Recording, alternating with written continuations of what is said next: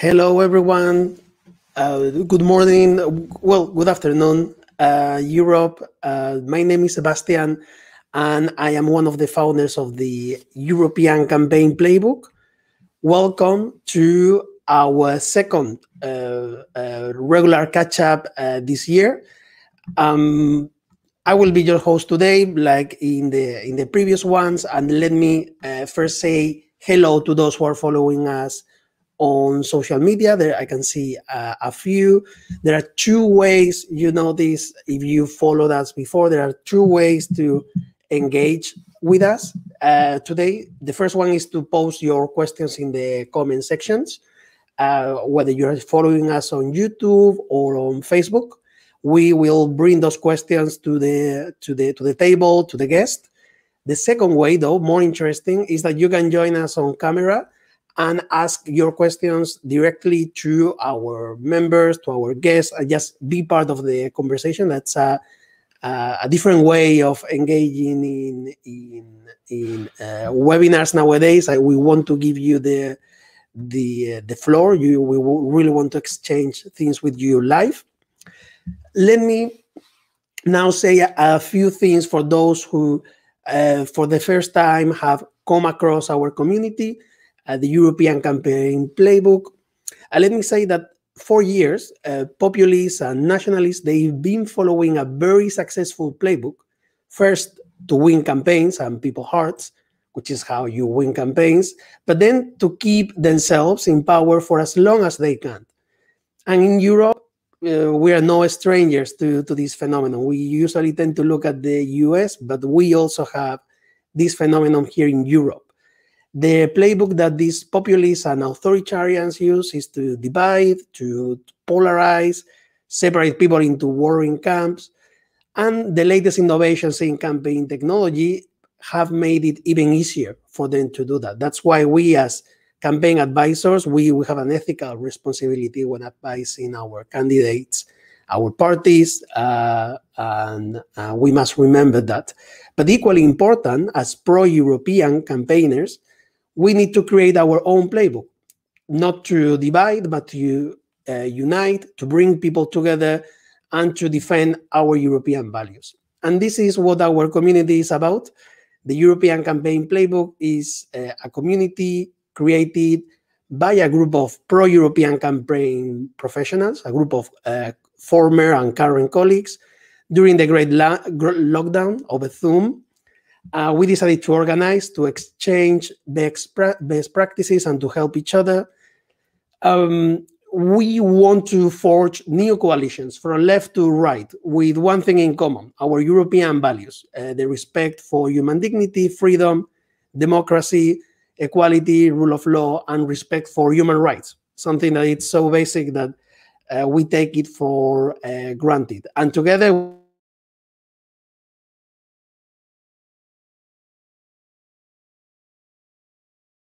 we will do that. We will write a playbook for you. I think, um, yeah, I think I went off camera just a second. Um, I just want to say that we are not for profit, like we don't make any money out of this. We do not receive funding.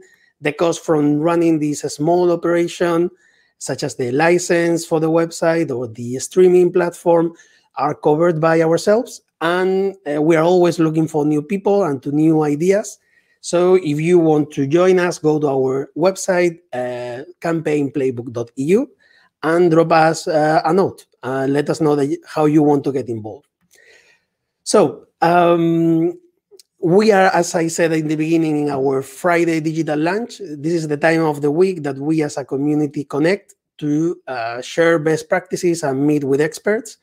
Today's guest is Dr. Andre Haller, professor for marketing, communication, management, and digital marketing at the uh, Kufstein Tirol University of Applied Science. And I'm going to bring him.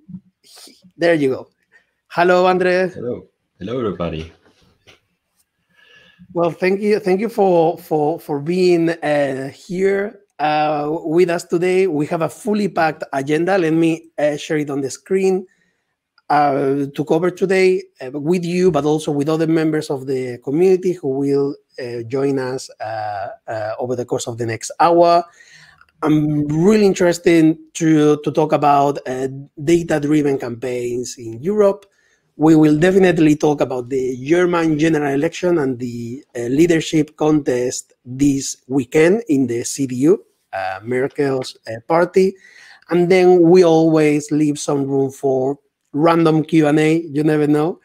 Uh, but uh, we will make sure that any questions that is raised, we really cover it and talk about it today.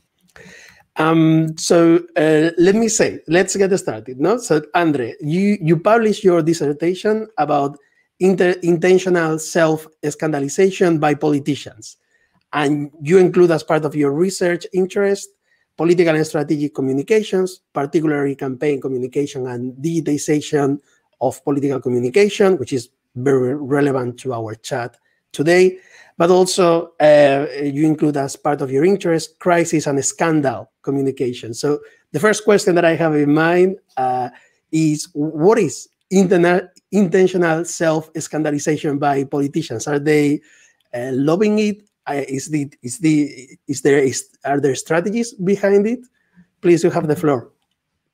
Yes, thank you, Sebastian, and thank you for the invitation. I'm very happy to be here. Um, to be honest, it was the first time I heard about your your network, and I think it's a pretty interesting, pretty interesting idea to bring together consultants, experts from the whole uh, European Union. So, greetings from Bavaria, from Germany. This is my my living room, my, my office room.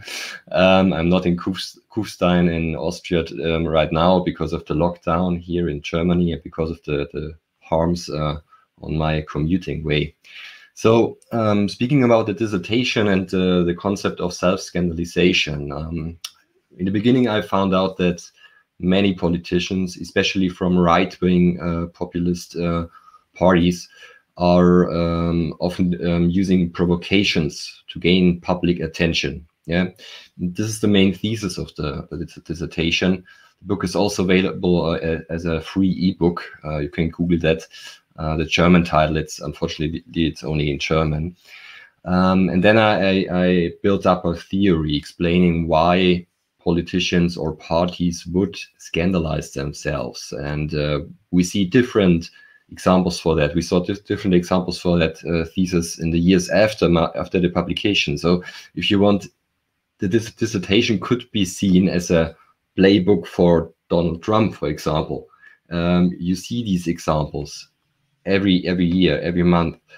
Um, yeah, this is the main thesis, and uh, I hope you will enjoy reading. Yes, indeed. I I uh, I was also new to the to the concept of self scandalization, but I was uh, going through uh, your your research and your your background. I said, okay, this is it. Like this is this is explains so many uh, so many things, especially in the alt right, which you've also uh, written about. So let's see if we can touch upon uh, a few of these topics today but the first thing that I, or the first question, the first question that I really wanted to to bring uh, to to the table is is more to do with uh, it's more practical. Because we the, the ones who are following this session or who will follow it over the next few few days is that uh, we are campaigners we are campaigners. We advise political organizations. We are directly or indirectly involved in campaigns. And we see ourselves as more and more restricted in what we can do online, especially over the last few weeks. Uh, the last week, I think it has changed the whole landscape. You have written a paper on this. I will share the link for everyone who are who is following uh, uh, to, to take a look. Uh, uh what can you tell us? What are the, the, the main lessons learned from uh, from your research that you did in Europe, but more precisely you did in Germany? Yeah, that's right. Um, together with a colleague of mine, uh, Simon Kruschinski from University of Mainz, um, he's also a communications scholar like me. Um, we talked about uh, micro-targeting. I think it was in 2016 or something like that at uh, at an international conference in, in Prague. And then we thought about, okay, let's do this empirical because there was less research on targeting or micro targeting in the political context, especially in Middle Europe, in Central Europe. So we decided to um, to interview politicians, and uh, Simon had good connections to to parties in one state in Bavaria, Rhineland-Palatinate. And uh, in 2016, there were the um, national election, the, the state elections there.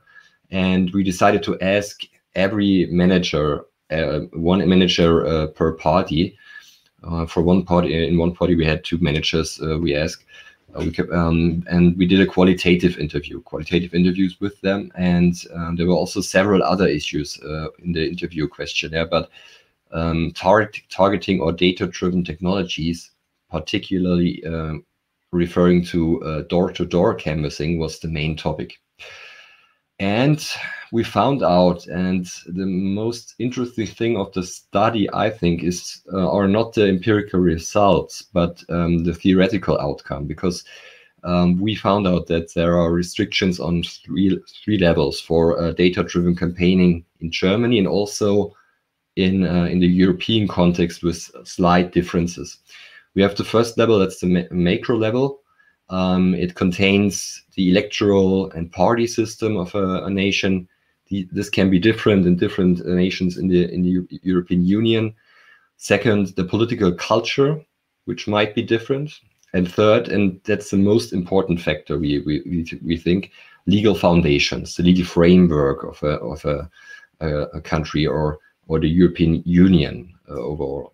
And on the meso level, we had several other factors. For example, the party culture. Meso level refers to the organizational level. Second, the personal and financial resources. So how much how much money do parties have to um, yeah to execute um, micro targeting measures? And third, technology and infrastructure. Um, speaking of resources, and then we have the micro level, and that's the most complicated one, I think, because uh, when it comes to people, it's getting difficult. You can uh, plan uh, micro targeting strategies. You might have a good data set, but when it comes to to to action, you have to speak with real people. So um, the first level would be the politicians and campaign managers. Second, volunteers or party members um, carrying out the campaign in most cases in most nations in European Union. And third, the voters. And then we ask um, ask the campaigners, the managers, um, referring to these variables, to these categories, um, where where are problems or how do you do that? And we found out that micro targeting in 2016 wasn't done very well in Germany. And there were a lot of um, knowledge gaps, for example. We had two campaigners. Um, um, we, we asked them, um, do you also use uh, statistical methods like um, predictive modeling? And then they, they looked at us and, and asked back, what is predictive modeling? And this was in, in 2016. I mean, of course, uh, it could be that um, these colleagues um, were older or um, they, they uh, don't focus on these techniques because they're using more uh, traditional ones. This is also a finding in some parties, uh, in some cases. For example, the the Social Democrats in Rhineland-Palatinate, they have a, a, traditional party culture. Yeah, it's more, a lot about uh, local um, local um, yeah, outlets of the SPD.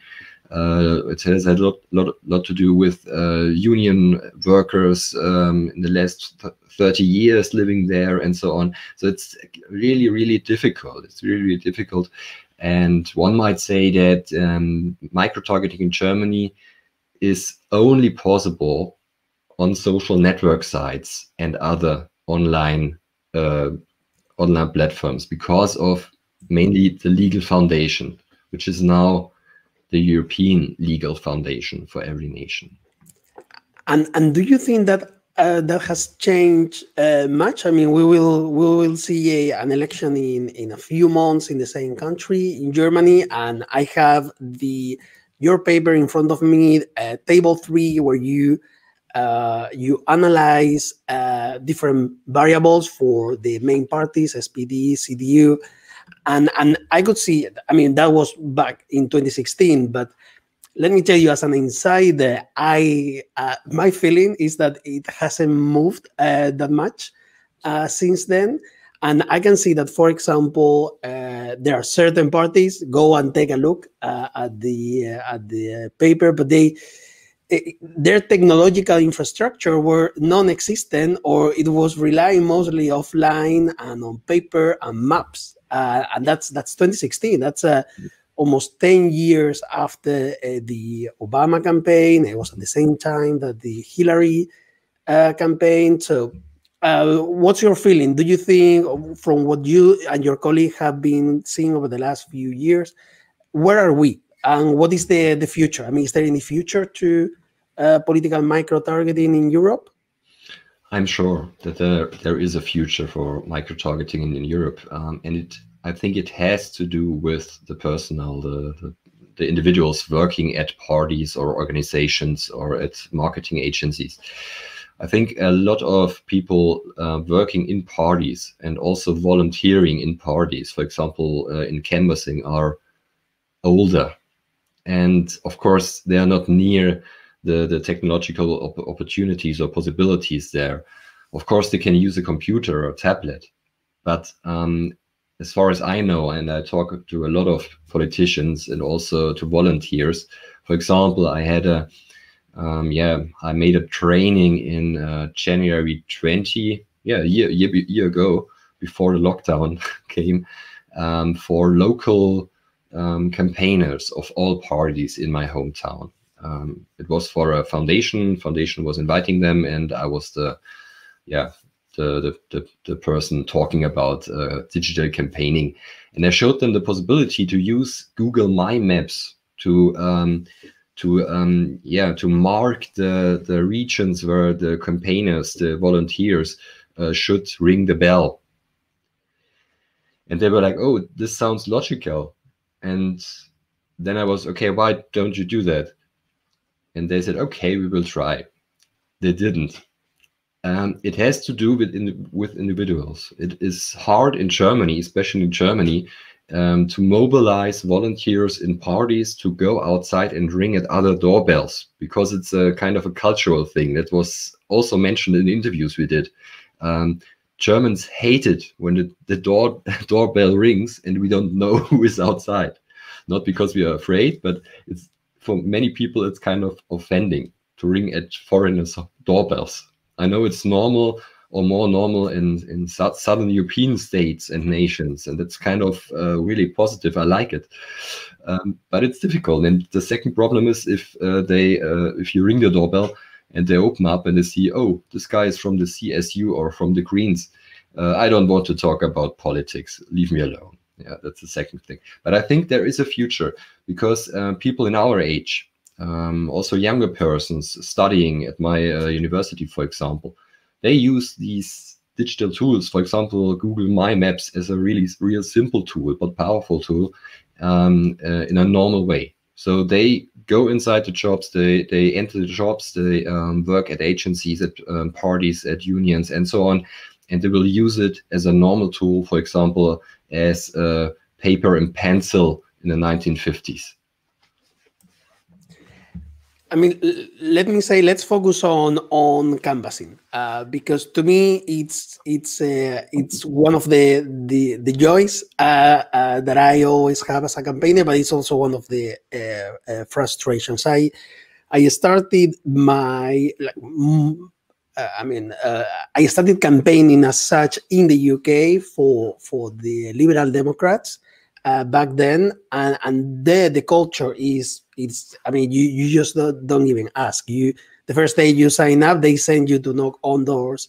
And i was knocking on uh, knocking on doors in uh, tower hamlets which is one of the poorest neighborhoods in in the uk definitely in london. They it's a few steps uh, uh few steps uh, away from the from canary wharf uh, where i used to work. And i and i used to go to tower hamlets to do that to do canvassing. It was quite normal. In fact uh, we, the Liberal Democrats, were the only ones who could enter to certain places. If you were a Tory, uh, there are some places that you would find yourself in in in a in a very funny situation. And and I was knocking on doors, and people were opening uh, the door, and I could see you know their kids on the background playing, and I was having a conversation, and then I would move on to the next thing. When I explained this to one of the most uh, famous uh, TV anchors in Spain, she said, "If you do that here in Spain, you, I would think uh, that you are, I know, you're a Mormon, you are, you know, you, I mean, what are you doing at my doorstep? It's pretty invasive, uh, and, and, and I think it is changing, um, but definitely in Spain it would be unthinkable, and and yet I see it as one of the main alternatives uh, for uh, campaigning, and one of the, and according to the research, you might be also aware of the research performed mostly in the US. It's it's what changes people's minds is not direct mail, is not online advertising, is having conversations. So hmm. so according to your experience and your research, um, what is the um, uh, uh, what is the best way for our campaigns to adopt these uh, strategies, supported, of course, with technology and also respecting the current legal framework, which is GDPR, even Germany has its own version, a little bit more restricted than GDPR, yet they do that. They do uh, campaign, uh, they do door to door canvassing, and and it is fine. What are the the you know your your main advice for for us to implement it in our campaigns? Mm-hmm.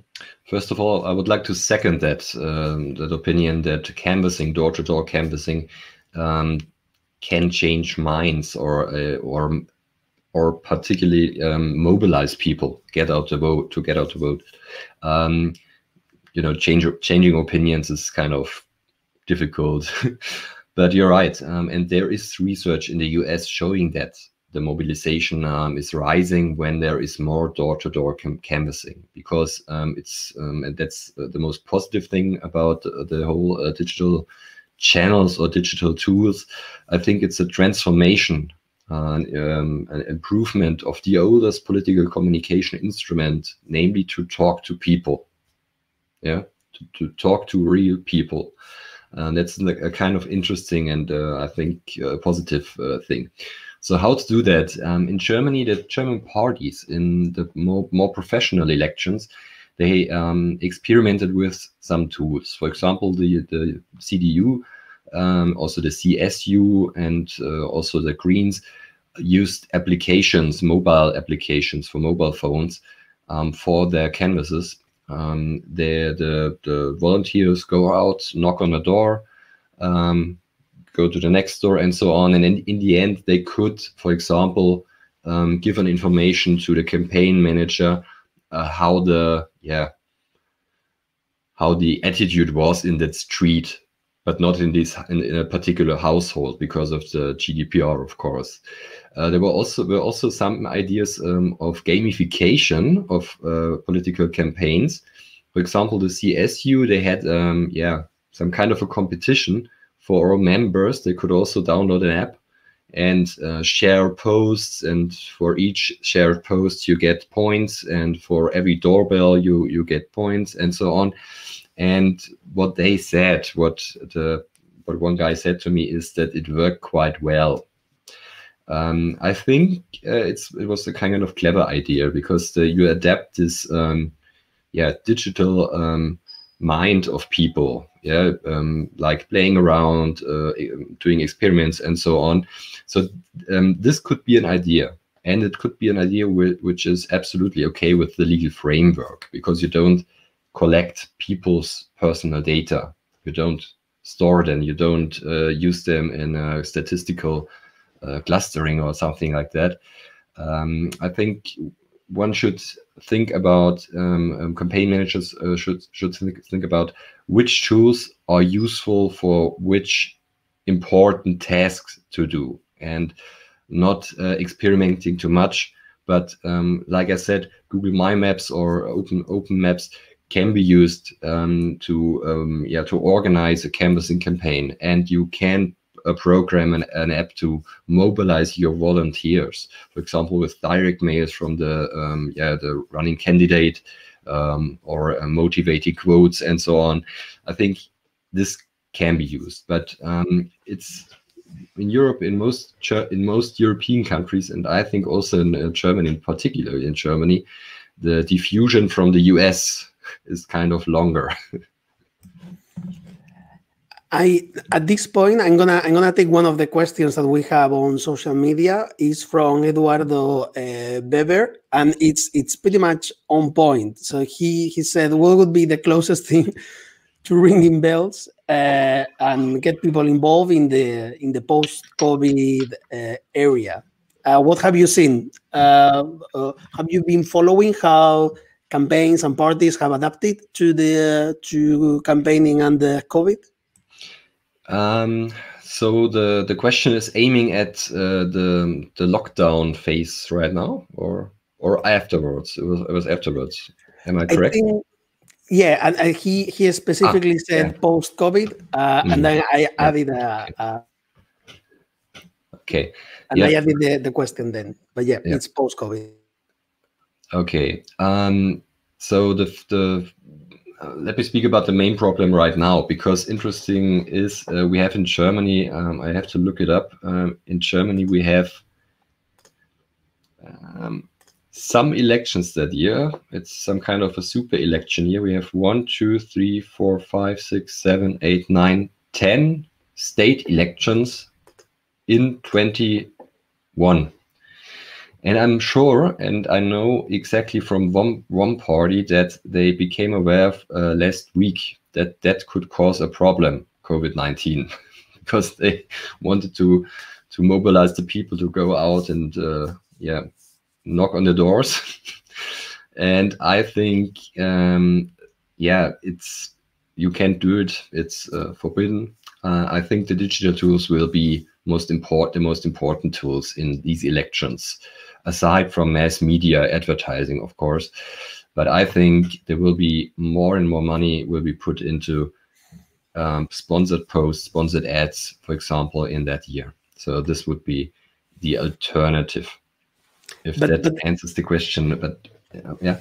yeah, no, definitely. I think I think it, it, it completely uh, addresses that. And but then the, the thing is, we are seeing um, especially i mean it's it has happened in the us but uh, it, there will be some knock-on effects. So we we we have seen major platforms uh, banning political ads during uh, on and after uh, an election uh, takes place. So um, do you think um, i know you're not a scholar you uh, you are not a legal scholar you don't know what's going to happen regulation wise but it is easy to to forecast more and more restrictions and more oversight and probably people being more campaigns being more conservative um, so probably probably the, the, the alternative or what we're going to see uh, and let's start uh, getting into the next topic which is the the german elections is we're going to see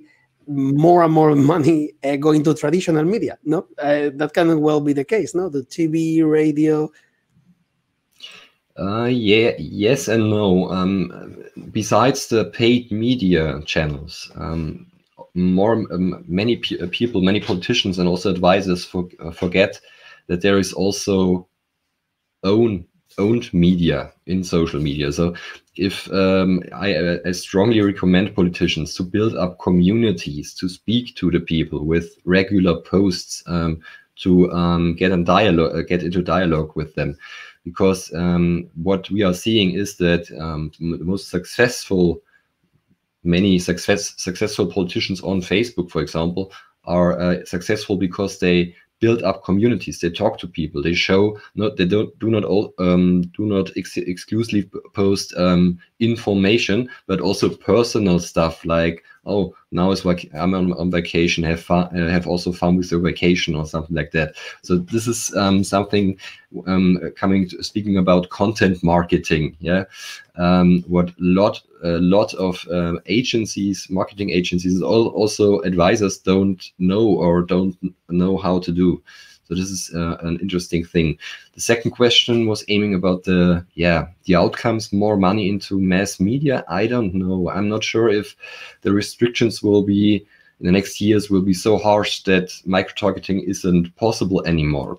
Because I think it's uh, it would be quite useful um, if politicians can use targeting options, but not into too much details. I think uh, these channels will be more uh, interesting for politicians, for parties, because you uh, spend less money, you're more accurate than, uh, for example, with a print paper uh, um, advertising. And then you also have rules in different state in nations. For example, in Germany, Germany, you can't buy yourself into television. This is regulated. You have um, every party has fixed times and uh, every party has the same time slots. So you don't have an advantage if you are the CDU or Social Democrats compared to a small party with 200 members. So um, there are also restrictions. So it's kind of complicated. I won't. I don't see mass media channels. Um, yeah. Um, on a new rise, they of course they are very important. This is um, television is the leading um, media type um, and will be in the next 10 and 50 year, 15 years, I'm pretty sure. But um, looking at the budgets uh, in campaigning, uh, politicians will also and increasingly focus on digital platforms like Google AdWords, like sponsored ads, and so on. And what about these emerging platforms uh, that are they are calling themselves like uh, uh, freedom of speech, uh, uh, heavens uh, where you can just say whatever you want there is no moderation. I mean there is moderation but of course it's uh, it's uh, it's just the the uh, i'm talking about Parler for example eh? i'm not uh, shying away from from naming it. They say there is moderation but um, we can even talk about moderation. If you want i would be very interested in, in knowing about your views on that. But um, if uh, you said uh, Facebook, it will be a, a, an important one. Definitely on Twitter, you cannot do political ads. Uh, then it, it is down to to in terms of the big ones, YouTube, uh, Google, the, the the Google Alphabet uh, world. But then you have smaller ones like Parler. Okay, I think it's it's uh, let, us talk about that. But also other which are not which are such as Twitch which are um, are engaging with a young um, audience, millennials, but and also who are not interested in politics but in online gaming. No? Mm. So um, that is that will definitely be part of the of the picture uh, this year, especially in Germany.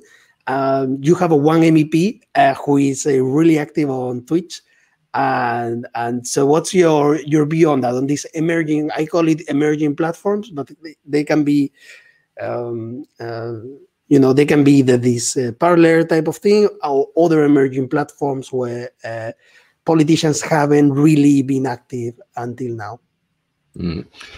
yeah this is um, an interesting question and the in interesting part is that like uh, this question is um, often asked to be, um, for example, in, in, seminars and so on, or uh, public uh, lectures. Um, the thing is, we don't know where people will go to to inform, to entertain themselves. What is clear is that Facebook and Instagram will remain the, the two most influential channels in social network sites in Germany, for example.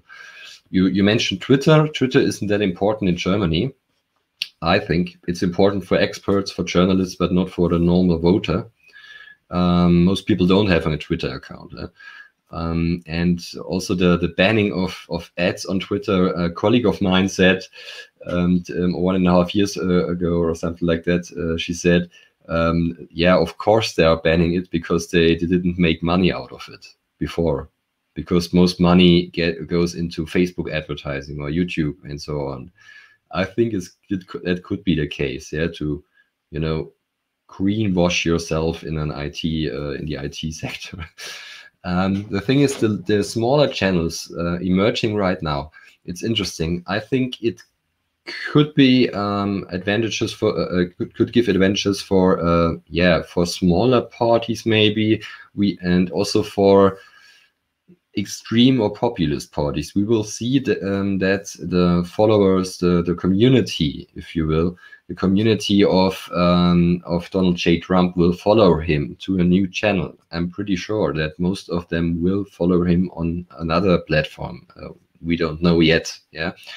Um, but for, I'd say, traditional parties, um, social democratic parties, uh, Christian parties, and so on, I wouldn't recommend to use every new channel because then you don't do it right on each channel. Um, just focus on Facebook, just focus on Instagram, maybe do some experiments with YouTube, yeah, but do less videos, but good videos. Um, use some other tools, be creative, like um, using Google My Maps. Again, Google My Maps is really cool tool. I I recommend it to to hyper local candidates here in the the city council election. I recommended it to them. I said, let's paint some information in. Let's paint information. Uh, let's give some information on historic houses here in the city, on closed down bars or, or pubs these are interesting information for local voters. Yeah, it's not about uh, putting up uh, 30 pages of your party program or something like this. So um, what I would like to say is content first and then channel. That's that's the most important thing.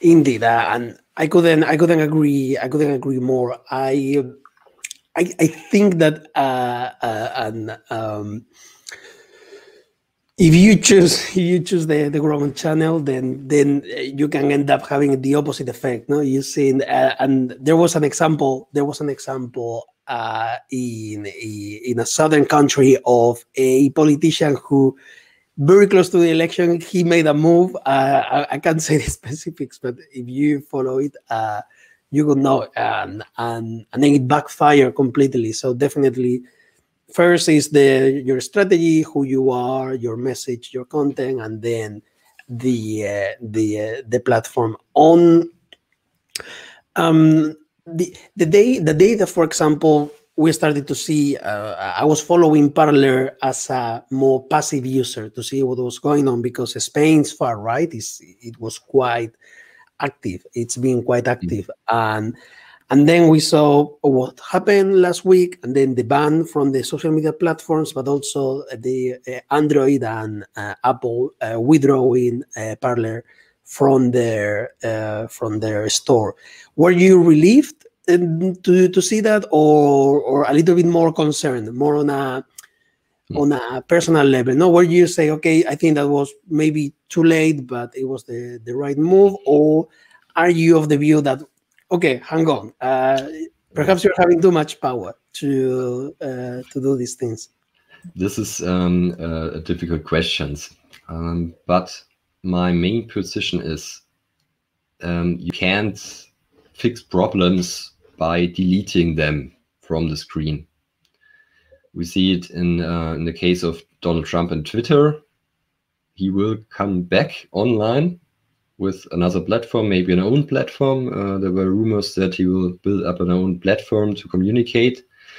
Um, of course, not everybody will follow him there, but I'm sure that TV stations and other media will report about um, provocations, self-scandalizations again, like in the last years, because the news uh, worth is too too high, the news value is too high of him. Um, Donald Trump guarantees high ratings for sure, and this this is sure for next years.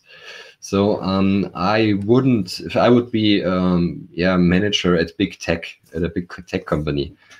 I think I would really um, think about it and really uh, try to to use other measures. For example, um, banning single tweets with the information that the informations in the tweet are false or, or wrong this is a good idea, I think, because people uh, going on the platform looking uh, want want to uh, want to look at Donald Trump and they see um, this tweet was was banned because of possible disinformation.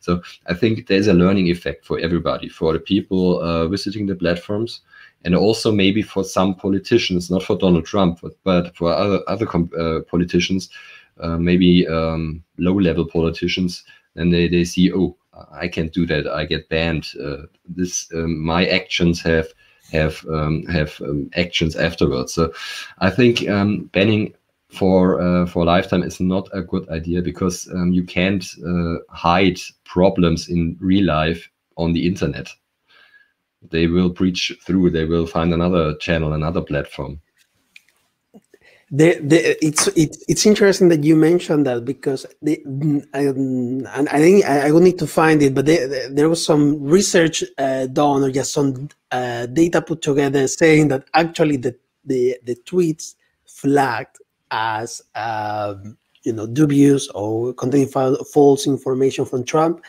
that didn't stop the the the, the tweet to go to mm. reach uh, mm. more people. Maybe it was the context. I'm pretty sure it was more. Mm. Uh, I mean, these tweets uh, and the uh, the uh, uh, and the context and the on which they were treated. I think it was it was. Uh uh I mean, I, I, I was going to, to to check Trump every couple of minutes to see if he's done anything crazy. So, but it is true that even with these uh, we, with these warnings, data tells us that they, they, that doesn't stop tweets from uh, from being shared. What about um, uh, because I'm really uh, I'm really interested on this, and I'm pretty sure the the, the people following us uh, will appreciate too. What about uh, instant messaging platforms uh, in in Germany? did you see them back then in 2016? I, I probably WhatsApp wasn't a, a big player, but do you see it now? Uh, and, and what are like if you need to draw a map of the what are the main platforms uh, politicians and parties use in Germany? Which ones would be the the most important? Which are uh, which ones are the emerging ones that we will see this year? Mm most important important one um, of course whatsapp in germany um, also facebook messenger and instant messenger are um, pretty important features um, but as far as i know it isn't used very um, elaborated in the campaigning context in germany politicians party members use it for collaborative work for organization of campaigns of course and um, but we have another channel you, uh, causing problems not only in Germany but also other countries, Telegram. Um, and I think that the main problems problem in in future campaigns uh, is is main problem is not that politicians use these channels and maybe uh, misbehave. I think the main problem are external uh, actors in the political field. For example, uh, conspiracy conspiracy uh, um, um, uh, groups or maybe also terrorist group, right or left wing. Um, we see that on on Telegram, and it will be, it will be really really difficult to to uh, get an overview to um, control it. Um, it's um, you know a problem to to keep balance between yeah going in by with law uh, and and preaching in or uh, or, or uh, going into the groups and uh, espionage or something like this. And on the other side freedom of speech. That's that's a real problem. And we saw it in 2015 when the refugee crisis uh, reached its climax um, that on on whatsapp groups especially whatsapp groups um, there were many many disinformation messages in uh, local groups uh, of football clubs or i don't know um, done by far right um, extremists. And I, I, think this will continue, and this will be, um, yeah, get um, will be um, um, will become more and more a problem because you can't control it. Uh, it's not Donald Trump or not uh, this politician tweeting or posting or using a messenger. We don't know where the this information comes from that Bill Gates wants to uh, control all of us. Yeah? That's, the problem, and um, yeah, we don't know uh, how many people will see the message or how many people would believe the message. Uh, we can't talk to these people because we don't know. Uh, in most cases, we don't know who was the receiver. So it's kind of an asymmetrical way, if you if you like. There was this this term of asymmetrical um, warfare when the Islam, Islam, Islamist terrorism was on the rise in the 2000 years. And I think it it's kind of not the same, but it's comparable. You don't know who is the enemy, who is the guy, the group um, threatening democracy.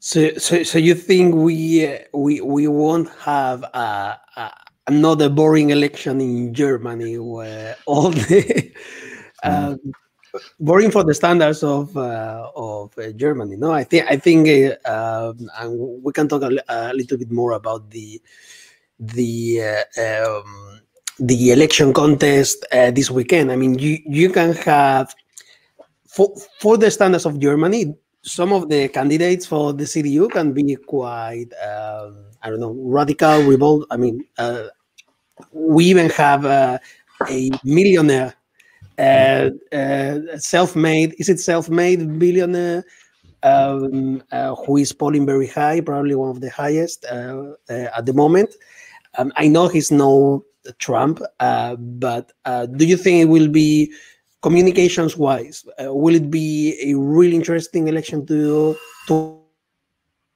yeah, absolutely. I I am uh, really thr thrilled about next Saturday because there will be a decision, not the end decision, because all members of the or all people allowed to vote have to cast their vote again by mail, by normal letter. But I think the results, if there are more than 5% difference between the first and the second, I think the results are pretty clear. Yeah, um, we have three candidates. Um, you were speaking about Friedrich Merz. Friedrich Merz was also, um, he was politician before. He was one of the leading politicians of the CDU um, and some kind of an opponent of Angela Merkel in her first uh, years of her career uh, in the Bundestag. Um, he yeah got kicked out more or less uh, out of the the CDU um, because it was a yeah fight for power in the CDU, and then he made that um, high amount of money by working for consulting groups, uh, financial sector, and so on. And yeah, now he's back. The second uh, candidate is Norbert Röttgen. He once was a minister um, and got also kind of kicked out by Angela Merkel or by the others um, because he uh, he failed at a state election. Um, I think uh, this is the candidate with uh, the yeah with uh, less chances. And then third we have um, Armin Laschet, the Prime Minister of North Rhine-Westphalia.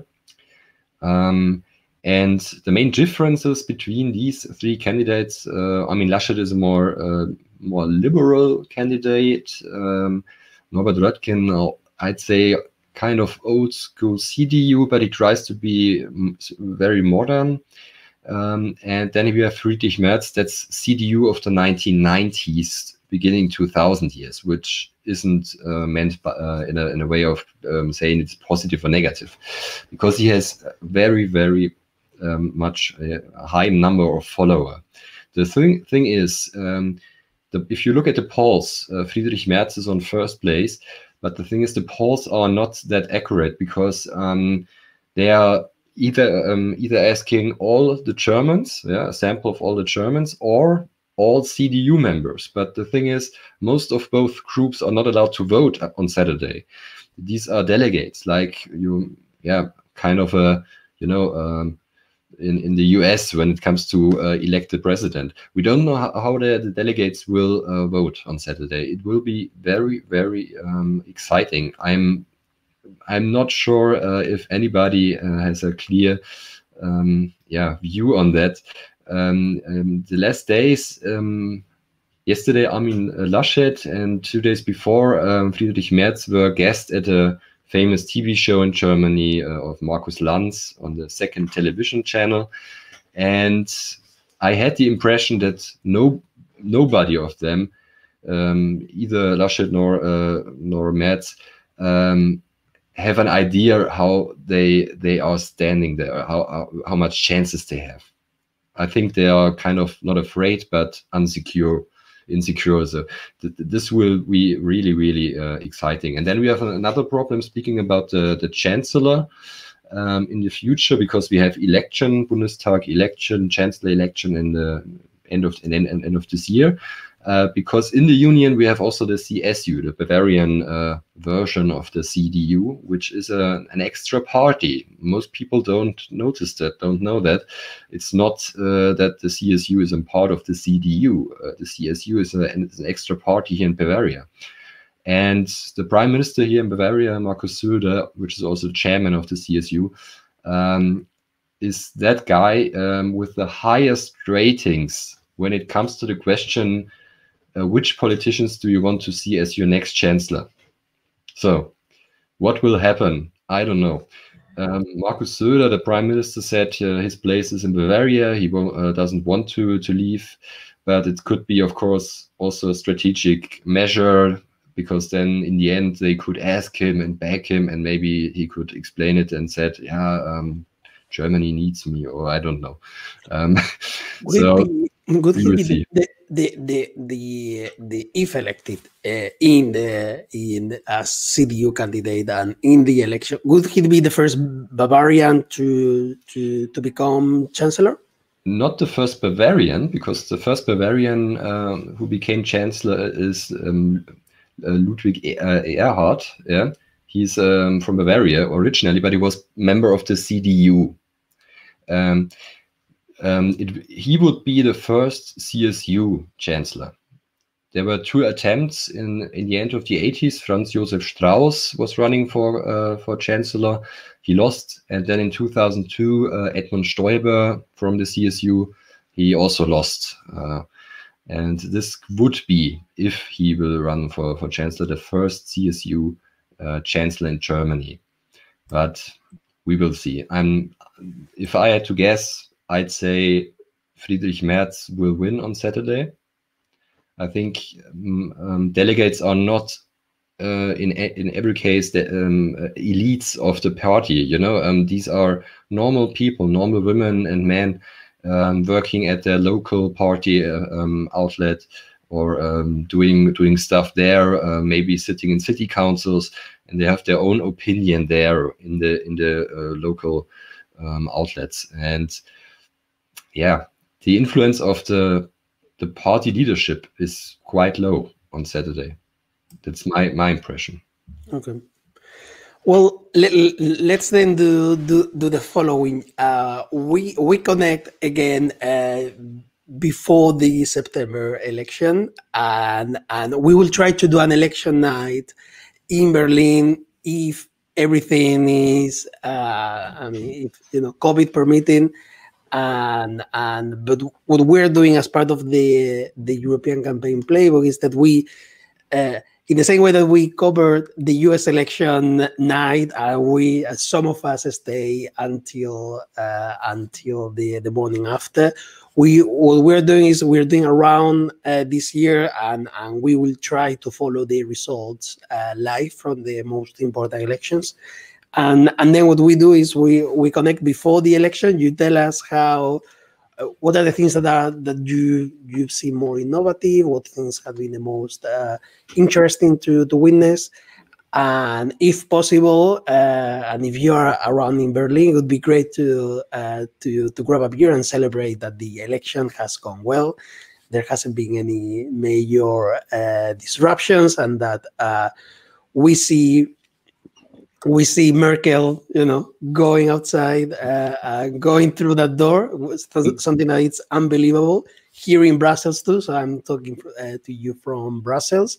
Uh, it's uh, it's unbelievable. I mean, no one knows what's gonna be, what's gonna look like. It, it, even mm.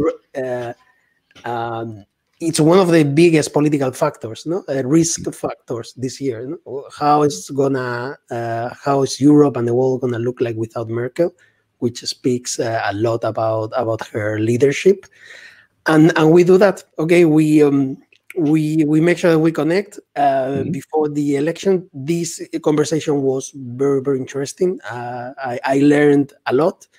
And, and the last thing that I that I always ask the, the people who join us is it's uh, to recommend a book, a movie, something interesting to share with the with the group. In your case, you can do that, or maybe you can tell us what you are focusing on uh, uh, in terms of research uh, this year. Uh, what uh, uh, what interesting things are going to be uh, looking for. And, and with that, we can wrap it up.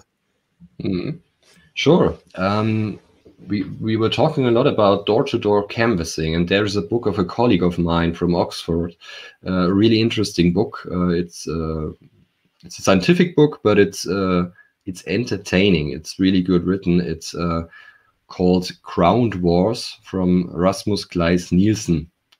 It's um, out of 2012, I think, um, and he did some uh, research in the US context. He was part of a campaign, an election campaign. He was able to uh, observe the people there, and it's um, kind of an interesting look back into 2012, how the Obama campaigns and other campaigns really worked um, in practice. And uh, he was also uh, writing about uh, the digital tools uh, used there and so on. So the book Ground Wars is really, really, uh, it was groundbreaking for the research on door-to-door and digital um, campaign um, canvassing. What I'm going to do that year, yes, a lot of teaching online. um, I hope that we can that we can use our new uh, research infrastructure because um, before the lockdown we uh, bought eye tracking and human behavior technology for the university, which is now locked in a room. Nobody's there. Um, it's stored stored there. So I hope that uh, my students and I um, and other colleagues can can work on that and and can uh, can yeah uh, see how, how much and what is possible with that research soft and hardware. Perfect. So good luck. Thank you again for for your time. Uh, I hope you, had fun. Uh, I certainly did. Yeah, yeah.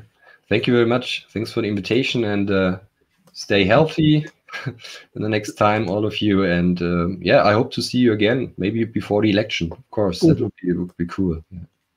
Yeah, it's a it's a given. I'll, I'll definitely uh, reach out.